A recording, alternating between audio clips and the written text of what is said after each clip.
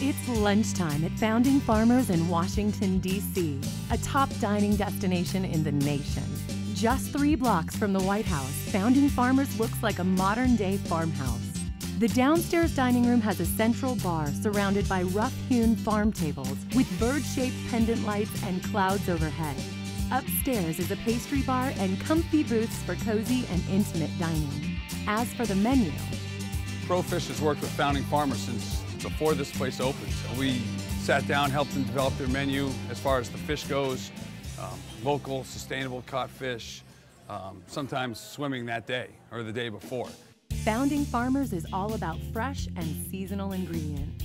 We are the greenest restaurant in Washington, D.C. When it's the food that we put on the plate, we look local when possible, uh, from family farms, real food and real drink, and this food is made from scratch. The expansive menu covers breakfast, lunch, and dinner for every food craving. Chicken and waffles, devilish eggs, and fried green tomatoes.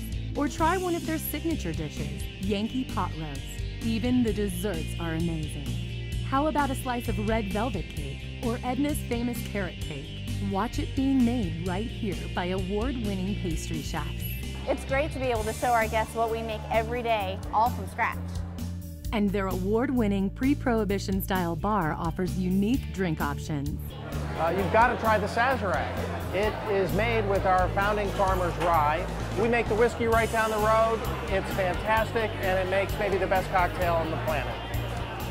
Founding Farmers restaurants are very popular, so you'll definitely want to call ahead for a reservation. So what keeps them coming back? Everything.